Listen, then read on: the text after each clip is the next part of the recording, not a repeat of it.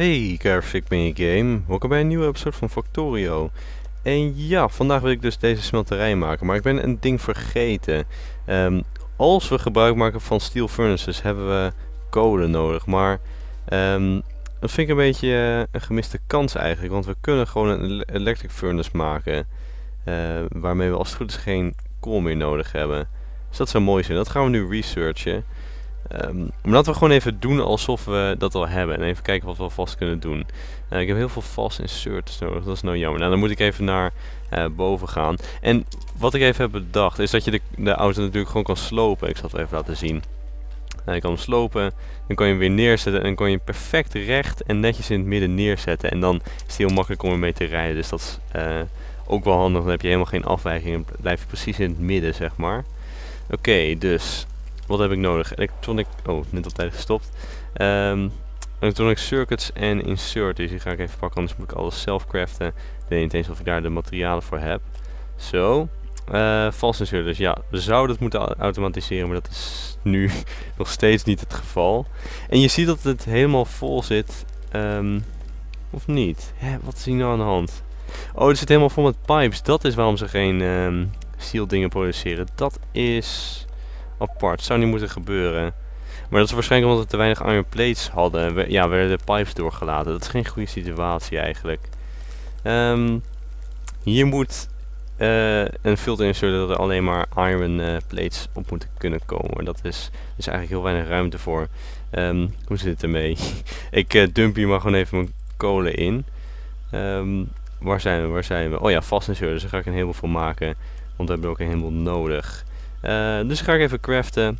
En uh, ja, dan ben ik weer terug. En, oh ja, gelukkig, daar is mijn auto. Ik dacht even dat ik hem was vergeten. Dus uh, electric furnaces, als we die straks hebben, dan um, was het goed is geen kolen meer nodig. En dat is een heel groot voordeel, anders moet die kolen ook nog hier helemaal heen komen. En het is ook een stuk cleaner, zeg maar. Want hier heb je um, de, de erts en de kolen op één band, weet je wel. En oh, op de een of andere manier Oh, oké. Op de een of andere manier is het nu wel weer zo dat we een hele backlog aan erts hebben. Dat is omdat dit een beetje is stilgevallen. Um, grappig om te zien. Maar ik geloof dat we dat wel weer inhalen. Uh, misschien als ze die pipes weghalen. Zo. Zit hier ook... Oh, hier zitten heel veel pipes in. Heel veel is er gewoon doorgelekt. Dat is echt niet de bedoeling eigenlijk. Nou, we hebben in ieder geval genoeg pipes. Ja, ik ben benieuwd of dit het nu weer kan uh, bijhouden. Maar er gaan in ieder geval wat dingetjes veranderen. Zoals ik in de vorige episode zei, gaan we gears uitbesteden aan um, het nieuwe gebied daar. Oh, geresearched. Dan kunnen we even kijken naar de electric furnaces. Ik ben heel erg benieuwd. Ik, je zou het moeten kunnen doen zonder kolen, als ik het me goed herinner. Wacht, wacht, wacht. Ik zie zoveel dingen over het hoofd. Voor een electric furnace hebben we advanced circuits nodig. Die hebben we nog nooit gemaakt. En daarvoor hebben we plastic bars nodig. Daarvoor hebben we petroleum gas nodig. Dus we moeten weer even naar de olie um, faciliteit. we moeten even naar de olie... Uh, hoe, hoe heet het? We moeten even naar de oliebron. En dan gaan we plastic maken. Dat wil ik ook eigenlijk in de vorige episode doen. Maar toen herinnerde ik me dat ik eigenlijk als eerste die batteries wou doen. Nu hebben we daar nog steeds niks mee gedaan. Er kwamen andere dingen tussen. Um, ja, lastig gedeelte om even op te rijden. Ja, dus laten we even kijken of we plastic kunnen gaan produceren. Oh ja, in de vorige episode hebben we trouwens die storage tanks geresearched. Nou, daar gaat nu light oil en heavy oil in, aangezien we daar nu niks mee doen. En dat betekent dat dit gewoon kan blijven produceren. Want het probleem was, uh, was dat dit zeg maar vol raakte en dan uh, stopte niet met de productie. En dat hebben we wel nodig voor de batteries. Um, en we hebben pet petroleum gas hebben we ook nodig voor plastic.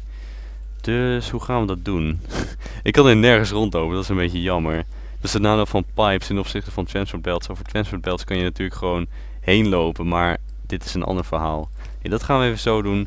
En uh, ik denk dat ik dit kan doen. Even kijken, zo. Petroleum gas gaat dan hierheen. Als het goed is. Oh, dat kunnen we niet zien geloof ik. Oh, toolbelt is geresearched. Ja, dat is een extra... Oh, dat zie je. Um, zie je meteen. Dat is handig. Dat, uh, daar gaan we veel aan hebben. Dus kunnen we tegen zoveel items op onze quickbar hebben, zeg maar. Ik moet er wel een beetje aan wennen, want het neemt meer ruimte in, uh, in je scherm. Oké, okay, petroleum gas en ik neem aan, ja, dat maken we gewoon in zo'n um, uh, chemical iets. Uh, waar is het? chemical plant. Ja. en dan moeten we dat copper cable weer maken. Copper cable hebben we ook nodig voor advanced circuits. Maar we hebben gewoon copper cable. Ehm, ja, weet je, het komt goed uit. We hebben, hoe heet het nodig? Ja, we hebben electronic circuits nodig en copper cable. En natuurlijk plastic. Hier heb ik copper cable, daar heb ik electronic circuits. Dus ik denk dat er wel iets te regelen valt. Um, alleen, hoe krijgen die copper cables ergens waar we ruimte hebben voor assembly machines? nou, eerder, hoe krijgen we de electronic circuits daar? Ja, ik denk dat ik naar boven moet eigenlijk. Dat ik gewoon even de ruimte ga nemen. En dan moet dit, ja, dit kan hier prima onderdoor zo. En dan kan dat zo gecombineerd worden. En die plastic moet dan helemaal van daar, daarheen. Wat wel belachelijk lang is. Um, ja. En je kan natuurlijk ook de electronic circuits en de copper cable hierheen brengen. Maar dat is denk ik veel meer gedoe. Oké. Uh, waar was ik?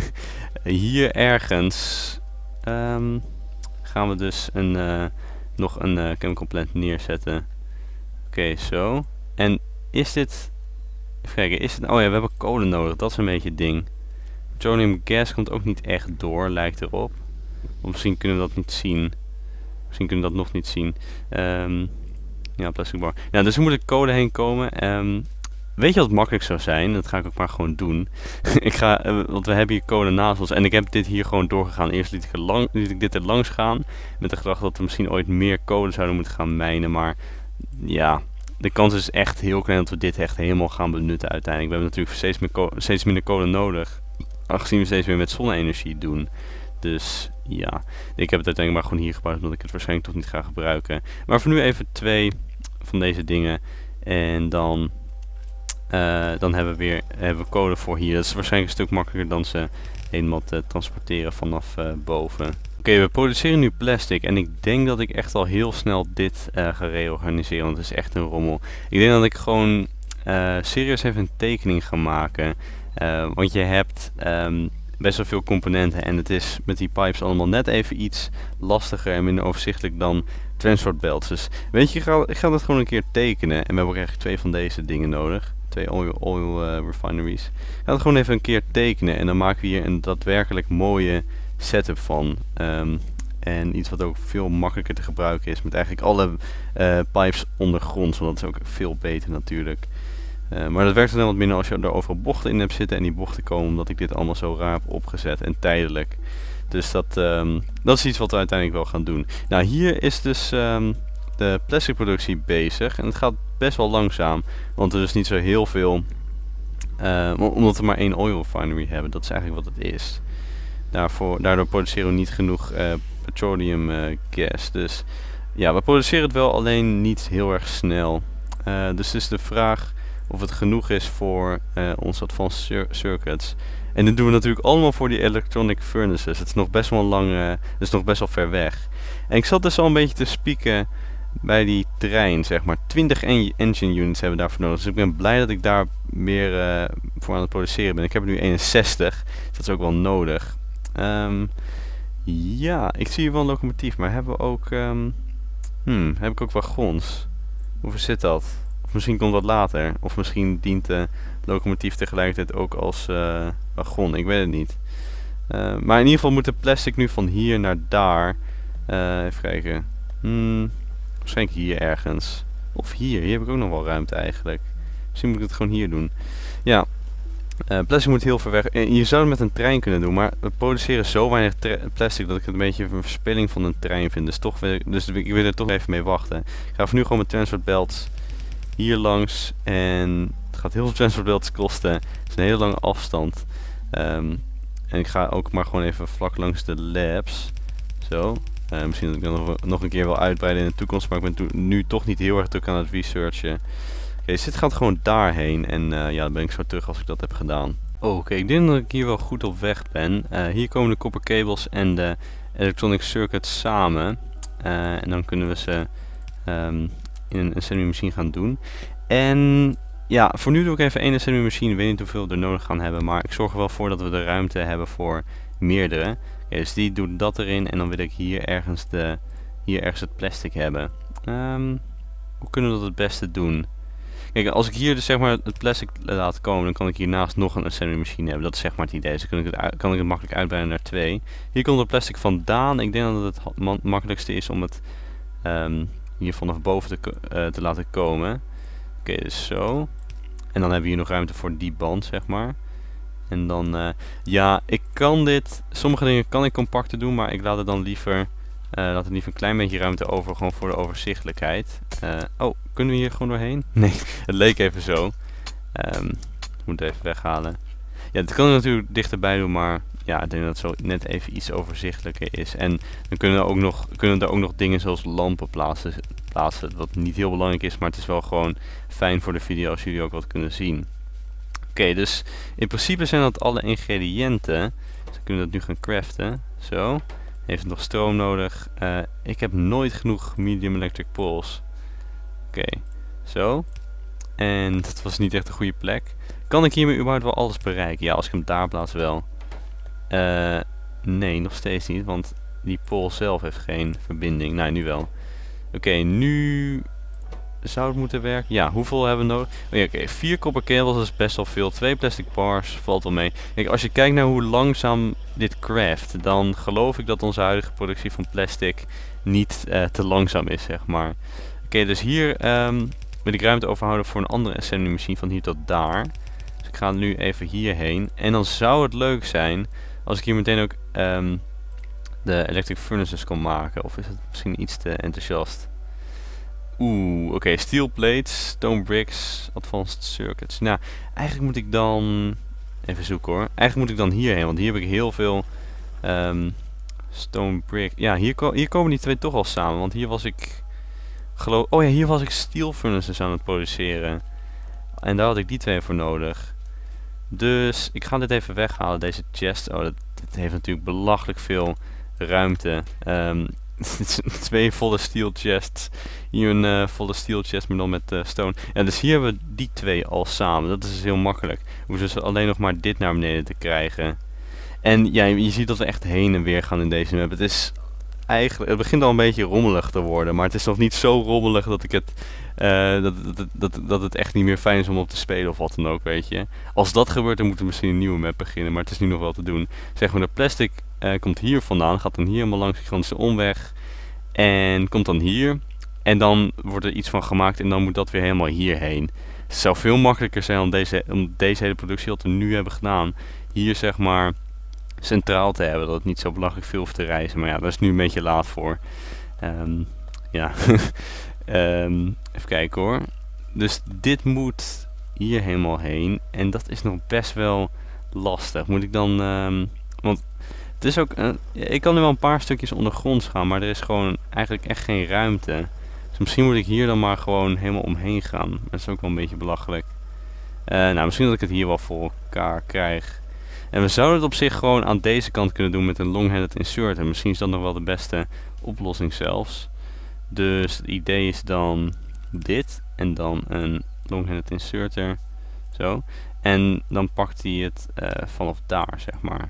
Zo, en dan zouden we daar electronic circuits op moeten uit laten komen. Ja, ik denk dat dat wel kan werken. En dan kunnen we zelfs nog meerdere assembly machines ervoor aansluiten.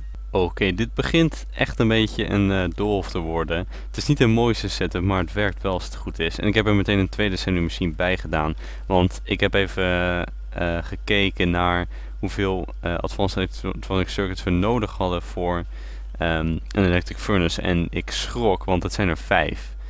Um, vijf advanced circuits. Dus ja, en het gaat alsnog heel erg langzaam. En, oh wacht, de plastic is nu de bottleneck. Dat is jammer. En er wordt ook helemaal niks geproduceerd. Oh nee, wel. Er wordt wel geproduceerd, maar het is echt heel weinig. Dus plastic is nu echt de bottleneck. Oké, oké. Ik dacht dat dit zo langzaam ging dat de plastic niet hoeft te versnellen. Maar dit is echt heel langzaam. Ja, echt twee dingetjes elke 100 meter of zo. Hmm. Ja, we, we halen gewoon niet genoeg... Uh, nou, we halen wel genoeg olie uit de grond, maar we hebben gewoon niet genoeg oil refineries. Um, ja, we hebben ook geen modules om het te upgraden. Ik weet nog helemaal niet hoe dat werkt. Um, ja, dus het, het is heel weinig, maar je ziet nu dat er wel wat uh, hier ligt. Dus we kunnen er in ieder geval twee craften. En het heeft nog even stroom nodig. Um, dat werkt net niet. Dit werkt wel. Oké, zo had ik dit al, oh ja, dat had ik al ingeschakeld. Dus nu krijgen we de eerste electronic furnaces. Die kunnen dus in principe beginnen met, um, en ik ga even nog een, uh, insert erbij zetten hoor, want anders duurt het te lang. Want we hebben 15 steel plates nodig. Dat is echt heel erg veel. Dus een extra longhanded insert zou op zich ook geen kwaad kunnen. Maar ja, dit gaat toch zo langzaam dat het niet echt verschil zou maken. Oké, ik heb er nu drie. Dat is fijn, die ga ik even meenemen. Kunnen we dus gebruiken. Ehm, en je zou natuurlijk kunnen zeggen, waarom stuur niet gewoon even call naar uh, dit gebied? Ja, het ding is, het is gewoon heel erg vers. Ik vind het niet echt waard om dat te doen. Als we echt binnen, uh, binnen de kortste keren gewoon electric furnaces hebben en het dus niet meer nodig hebben. Dus dat zou ik een beetje verspilling vinden van tijd en ook van um, uh, spullen natuurlijk. Dus ja, dat is een beetje het ding. Ja, het gaat wel echt heel langzaam. Dus eigenlijk, wat ons nu tegenhoudt, is um, dat, we dat we de olie niet echt goed regelen. Daar komt het op neer. Dus eigenlijk, eigenlijk moet ik dit nu gewoon helemaal uh, gaan slopen en opnieuw neerleggen, zodat het wel overzichtelijk is. En zodat we ook daadwerkelijk ruimte hebben voor extra modules en dat soort dingen. En met modules bedoel ik dan niet deze dingen, maar gewoon deze apparaten. Oké, okay, dan gaan we dan. Alles is weg. En ik ben blij dat ik even een tekening heb gemaakt, want anders had ik geen idee waar ik moest beginnen. En die tekening is nog best wel ingewikkeld geworden. Um, dus ik, ik, ben heel erg benieuwd of dit een effectieve setup gaat worden. Uh, het komt hierop neer. We hebben drie jaarknikkers. En daarop zijn uh, drie oil refineries op aangesloten. Dus nu hadden we er één, veel te weinig. Nu hebben we er drie. Hopelijk is dat een beetje genoeg. Dus elke jaarknikker heeft zijn eigen oil refinery. Uiteindelijk is het geloof ik ook wel mogelijk om meerdere jaarknikkers op uh, meerdere oil refineries op één jaarknikker aan te sluiten. Maar voor nu doe ik er even drie. Maar ik geloof dat ze op zich wel de capaciteit hebben dat ze meerdere oil refineries van olie kunnen voorzien. Um, ja, laat ik dit maar gewoon eerst even doen. Maakt dit nog uit? 1,7 per seconde. Nee, dat maakt niet uit waar ik dit plaats. Dus ik ga gebruik maken van deze drie uh, olievelden. Ik kan ook nog van die vierde doen, maar dan wordt het weer zo krap. Dus we maar niet. Hopelijk lukt dat. Zo. En zo. Ja, dat lukt. Het komt net uit. Geen in mijn inventory. Um, en dan wil ik dit een beetje zo afstellen dat het, dat het netjes uitkomt, zeg maar, met elkaar. Dat het een beetje recht is allemaal. Dus deze moet een beetje naar boven. Zo. Uh, ja, zoiets. En dan 1, 2, 3, 4. 1, 2, 3, 4. Ja, dat klopt dus. Dat is netjes. En ja, je ziet ook dat ik nu deze kant op ga in plaats van die kant. Want hier is echt geen ruimte. Ik kan veel beter die kant op gaan. Water blijft trouwens gewoon hier beneden. Um, en iron komt ook hier beneden en wordt zo toegevoerd. Kan het via boven doen, maar dat wordt denk ik veel te rommelig. Um, nou, ik doe het gewoon even zoals ik het nu heb gepland. Dus uh, ja, en zoals ik nu heb gepland zit, uh, zit de chemical plant voor zwavel beneden. En zwavel heeft... Uh, oh nee, en ik bedoel de chemical plant voor batteries. Chemical plant voor batteries zit beneden. En batteries hebben deze twee nodig. Dus daarom lijkt het me logisch om die naar beneden te halen. Ik kan die ook boven zetten, maar weet je, ik volg nu gewoon mijn tekeningetje. Anders raak ik volledig in de war. Um, het is de vraag of dit genoeg ruimte ertussen is. Ik ga maar even uit van niet, weet je. dus ik ga even wat meer ruimte nemen. Zo, 1, 2, 3. Dan doen we dit. Ik geloof dat het dan nog goed uit zou moeten komen. Oké, okay, 1, 2, 2, 3. En dan ga ik even tellen. 1, 2, 3, 4. Oh. 1, 2, 3, 4, 5, 6, 7. 1, 2, 3, 4, 5, 6. Oké, die moet nog eentje verder. En zo. Nou, dat zou moeten kloppen. 1, 2, 3, 4. Wacht, 1, 2, 3, 4, 5, 6, 7. Ja, ik geloof dat het klopt. Um, en dan heb ik een beetje de ruimte. Ik hoop dat dit genoeg is. Dus ik ga nu even een beetje verder bouwen. Ik probeer zo, trouwens zoveel mogelijk pijpen ondergronds te doen.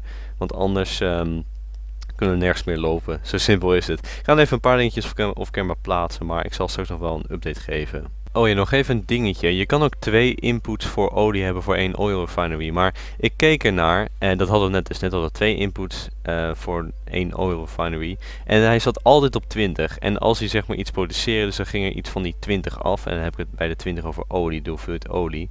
Dan liep hij heel snel weer op naar 100. En dan deed de jakkenikker weer niks. Dus voor mijn gevoel... Um, is dat een beetje zinloos. En kunnen we zelfs meerdere oil refineries op één jaarknikker aansluiten. Um, dat moeten we nog even zien. In ieder geval voor nu doe ik er gewoon eentje. Dus daar. En dan de laatste. oh, is hij nog even mee bezig met craften. Ehm, nou, dat is even de eerste stap. Doe nog een paar dingetjes of camera en dan ben ik zo terug. Oké, even een update. Ik weet niet of dit zo ingewikkeld moet zijn. Dat is een beetje het ding. We hebben dus die light oil en die dark oil. Daar heb ik op dit moment gewoon... Um, ja, ik heb gewoon niks wat ik ermee kan doen. Dus het gaat naar deze storage tanks. Um, we hebben het uiteindelijk sowieso wel voor iets nodig. Maar nu weet ik gewoon niet wat ik ermee moet doen. Dus ik heb dit even uitgetekend van tevoren. Zodat ik dit goed werk kan krijgen. En dan kunnen we het gewoon afvoeren. Kijk, de light die gaat hierheen. En je ziet dat het hier samenkomt, zeg maar. Je ziet hoe het ondergronds met elkaar verbonden is. En uh, ja, zoveel mogelijk ondergronds natuurlijk. Nou, ik heb niet echt zoveel mogelijk gedaan. Maar ik kan er nu in ieder geval redelijk doorheen lopen. Omdat ik een beetje ruimte heb overgelaten. En hier de dark, zie je daar komt zo, die komt net even wat verder, ook wat ruimte ertussen. En die gaat daar ondergronds verbindt hier met de andere dark van die andere. Verbindt hier met de allerlaatste dark en je ziet dat het allemaal met elkaar verbonden is. En ja, dus ja, als je van een afstandje kijkt, dan zie je wel een beetje wat hier eigenlijk speelt. Het is natuurlijk iets, iets minder overzichtelijk als je ondergronds gaat, maar ik geloof dat het zo wel uh, goed te zien is. En het is nu ook weer dag, dus dan zien we ook weer wat. Ja, oké, dan ga ik nu het volgende deel bouwen, zeg maar. En dat wordt hier een chemical plant voor plastic, hier nog eentje voor plastic. En hier een chemical plant voor zwavel. Dit wordt nog een hele operatie, want hier moet water heen voor die zwavel. En bij het plastic moet er kool heen. Oké, het is weer tijd voor een update. Uh, deze stukjes um, bij heb ik ondergronds laten gaan. Dit is dus gewoon voor petroleum gas. En misschien had ik dit LPG gaan doen, want ik had het even gegoogeld. En petroleum gas is gewoon, ja, dat is gewoon LPG. Wat wij in Nederland LPG noemen. Wat je dus kan tanken voor je auto. Um, ligt een stuk makkelijker in de mond, LPG. Dus LPG gaat hier dus nu ondergronds, want er moeten nog code komen. Dit is voor plastic, zoals je ziet, daarvoor hebben we code nodig. Dit is ook voor plastic. En dit is dus de zwavel setup. En het is misschien al als ik dit ook ondergronds doe, dan kan ik daadwerkelijk lopen hier. Ik zal even uitleggen wat er hier gebeurt. Uh, water komt hier vandaan. Ik heb zoveel mogelijk ondergronds gedaan. Zie je af en toe zo'n dingetje boven komen door die beperking van 10 blokjes of wat dan ook. En dit is nog voor light en dark oil. Um, ja, water gaat hierin. Hebben we nodig voor sulfur. Water hebben we ook nodig voor sulfuric acid. En iron moet hier ook nog komen. Dat moet helemaal van hier, hierboven komen dan hier ergens langs zo. Um, en dan hebben we hier nog een chemical plant voor batteries die hier nog achteraan komt. Maar water wordt hier dus gesplitst. Water hebben we voor beide deze dingen nodig. Uh, en dit is de inserter voor um, sulfur. Dus die staan heel erg op elkaar, maar dat zou moeten werken. Nou, code hebben we hier nodig voor plastic zoals ik zei en LPG. Uh, en code komen hier vandaan op dit moment. Dus dit kan weg en kan ik de code daar heen laten gaan. Um, ja, dat is even de update. Het is... Um, ik, ik hoop dat ik na zeg maar een week allemaal nog weet wat het allemaal doet. Want het is eerlijk gezegd best wel ingewikkeld. En het is allemaal nieuw voor mij, weet je wel. Maar we gaan het zien. Uh, dus ik ga nu nog een stukje verder bouwen en uh, dan ben ik zo terug. Oh, Oké, weer tijd voor een update. Ik heb even op alt gedrukt en dan zie je overal wa wat er gebeurt. Misschien maakt het dingen iets duidelijker. Um, code waren net al aanwezig. Ja, ik heb nu dus de iron en copper gedaan. En hier zit dus een splitter. Hier voor um, sulfuric acid hebben we iron nodig. Voor batteries hebben we iron en copper nodig. Dus daarom zit hier de splitter voor de iron. Uh, niks heeft nu nog stroom. Want ik wil, wat ik eigenlijk het liefste wil, is um, beginnen met de elektriciteitsmassen hier. En dan als laatste bij de jaarknikker, zodat alles in één keer in werking treedt. Dat lijkt me best wel cool om te zien. Als het allemaal werkt dan. Ik hoop het. Hopelijk heb ik niks gemist. Hier even een uh, band, is niet echt nodig. Uh, totdat we iets gaan craften met de batteries. Maar uh, ik vind het ook gewoon wel fijn om dit te hebben als een visuele representatie, representatie van dat er echt daadwerkelijk iets wordt gecraft, zeg maar, dat je het voorbij ziet gaan. Uh, enige wat ik nu moet doen, volgens mijn tekening, kans dat ik dingen heb gemist, is dit. Iets waar het plastic op kan uh, belanden, zo. En dat moet dan hier naartoe. Ik heb even geen zin om dat helemaal te gaan slopen, dus ik doe wel gewoon even dit. zo. Dit is het, dit zou het moeten zijn. Nu alleen nog elektriciteitsmasten. En ja, dan zou het moeten werken. Dit is het moment van de waarheid en ik ben al best wel lang met deze episode bezig. Dus als er iets misgaat moet ik het misschien in de volgende episode fixen. Uh, werkt dit? Lijkt te werken. Ik hoop dat het ook door blijft gaan met um, produceren zeg maar. Zou het moeten doen op dit moment. Het zit niet helemaal vol. Misschien heb ik een beetje de hoeveelheid crude oil die we nodig hebben onderschat. Uh, dat is op zich best wel jammer. Nou, we kunnen hier altijd nog een jaagknikker neerzetten misschien valt het ook wel mee. Ja, zolang we maar een... Uh, oh, oh ja, hier staat natuurlijk bij hoeveel het per seconde doet, hè. 1,7 per seconde. Meent, uh, we zullen zien of dat genoeg is. Maar, dit is in ieder geval wat meer plastic. En het is niet twee keer zoveel. Uh, kijk, we hebben dan weer ik heb wel dan twee keer zoveel chemical plants voor plastic. Maar ik heb nu ook in ieder geval genoeg LPG ervoor. Want dat was eerst ook gewoon de bottleneck. En die heb ik hier drie van. Dus meer dan genoeg LPG. Dus ik hoop dat het toch wel... Uh, het ziet er wel uit als ongeveer vier keer zoveel plastic. Dus dat is fijn. Ik hoop dat we daar een beetje mee uh, verder kunnen. Kunnen we meer advanced electronic circuits produceren. En dat allemaal voor die electronic furnaces. Daar hebben we er nu ondertussen 11 van. Uh, kijk, het is niet dat het nu echt belachelijk snel gaat of wat dan ook. Uh, maar dit is in ieder geval een begin. Kijken of dit ook allemaal goed gaat. Zo te zien wel. Ja, batteries worden geproduceerd. Dus um, dat hielp zo erg die tekening even maken. Anders had ik dit echt niet uit mijn hoofd kunnen maken, zeg maar. En hier, ja, zie je ook dat light oil en heavy oil gescheiden wordt. Uh, het is nu de vraag of dit allemaal genoeg is. Ik weet het niet. kijken of dit vaak uh, moet wachten. Ik geloof, ik geloof het wel. Maar nu zou hij toch gewoon moeten kunnen produceren. Of ligt dat aan mij? Oh, oh nee, hij heeft drie nodig, hè? Ja. Maar kijk, dat is toch raar. Nu heeft hij er drie. Er staat... Oké, nu staat er één. Net had hij er drie en het deed niks. Dus dat is raar. ik weet niet. Ik, denk niet dat daar echt iets aan te doen is. Ja, dit, deze dingen moeten wel nog vaak wachten. Dus waarschijnlijk heb ik de hoeveelheid... Um, uh, LPG die we nodig hebben een beetje onderschat. Dus betekent misschien dat we dit hele ding alweer um, moeten gaan aanpassen. Maar wat ik natuurlijk altijd kan doen is hier nog een jaarknikker toevoegen. En dan, uh, uh, wat misschien handig zou zijn, is misschien om dit allemaal met elkaar te verbinden. Misschien wordt de olie dan wat eerlijker verdeeld. En dan kan ik dit er ook nog op aansluiten, zeg maar, van een, een jaarknikker op dit crude oil dingetje. Uh, misschien wordt het dan beter verdeeld, ik weet het niet. Misschien zou dat wel helpen. Uh, ja, even kijken of we, hoe dat nu gaat. Uh, oh ja, je ziet dat we veel meer advanced electronic circuits produceren dan eerst. Het is nog steeds heel weinig, maar het is beter dan eerst in ieder geval. En ik moet wachten op de 5 en ja, dus dat is nu wel te doen. En we hebben er 11, dus in de volgende episode, en we hebben er ondertussen 14. In de volgende episode kan ik lekker gaan bouwen bij de nieuwe smelterij. Maar dit was nog eens een opgave, echt waar. Um, maar ik ben heel blij met het resultaat en uiteindelijk kunnen we nog veel meer doen. Even kijken op de map, want we hebben vast nog wel...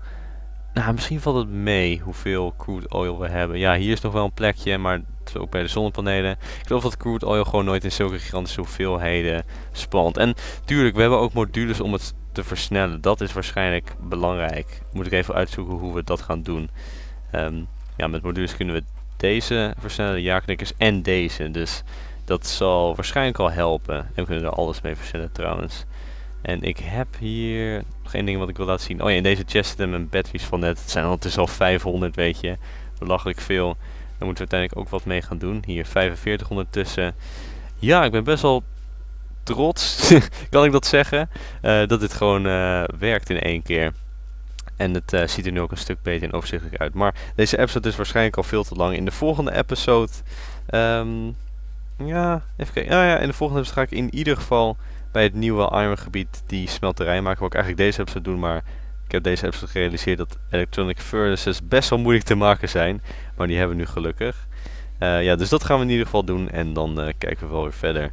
Maar ja, dat tot allemaal later wel. Dus ja, dat was het alles voor nu. Tot de volgende episode.